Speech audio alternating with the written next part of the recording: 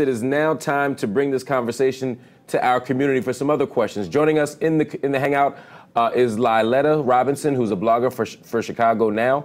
We also have Matt Jones, who's a student at the University of Michigan, and we're also joined by Roy Oppenheim, who's a foreclosure defense attorney in Fort Lauderdale, Florida.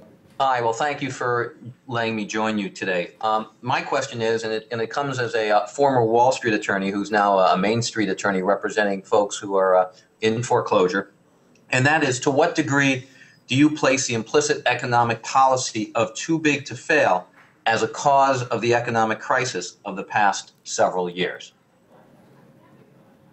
All right, Gary, let's start with you. Well, I put it right at the top of the list. Uh, I, I, would not have bailed out Wall Street. I think that they made some incredibly bad decisions. They should have been rewarded for those decisions by being allowed to fail. And um, I'm not doing this in a vacuum. I've got a lot of really terrific free market economists that have been advising me all, on all of this.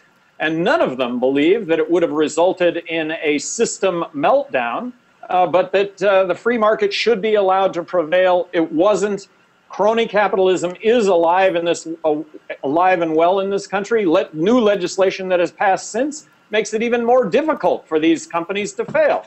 They're being uh, they're being uh, promoted in the future to take future risk, and the risk is with your and my dollars. Stop! Stop! Roy, do you agree with that assessment that that you know they say they have economists who say that we would not have gone into a system-wide meltdown do you think that's a fair analysis?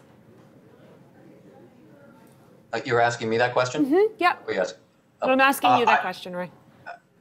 I think that um, what we've done is we've encouraged too big to fail, which was supposed to be a a a, uh, a joke, to become actual governmental policy. We, we've encouraged effectively a, a moral hazard where we know that if a bank takes on a risk, that there's a strong likelihood that we as a taxpayer, the Federal Reserve, and the government is going to continue to bail these banks out. At the same time, we've probably hurt the smaller banks because people feel that they're probably safer to invest in the larger banks because if in fact there is another meltdown and the government comes to bail out these large banks, the people who have their savings with the larger banks are probably going to be protected. And that is a form, in my mind, of crony capitalism and it defeats the very essence of, of a free market. And so that the real question is, do we need more government or less government or more effective government?